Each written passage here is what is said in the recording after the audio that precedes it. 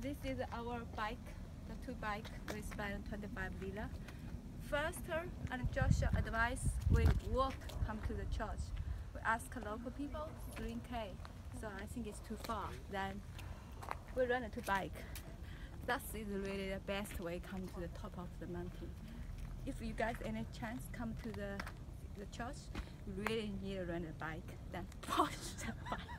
Why? all the Because you basically just push it uphill. Yes, push the hill with a bike come to church. That's so amazing. Really good. I love it. You'll love it. Yeah, next time I want to do it again. Don't walk.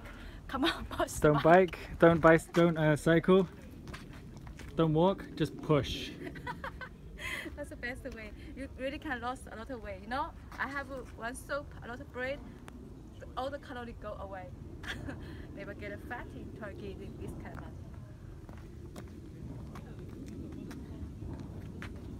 mountain. That's the church, and Joshua all the time tell me, "Come on, let's look."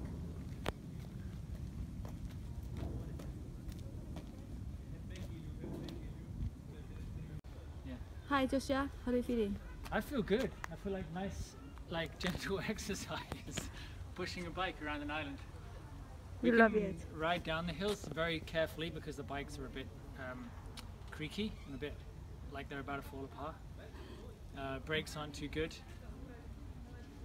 Various dangers around.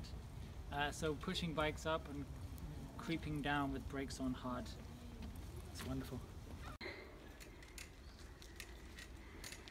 Hey baby, How are you feeling? good. Continue, ma? They don't make hills like this these days. Yeah, it's beautiful.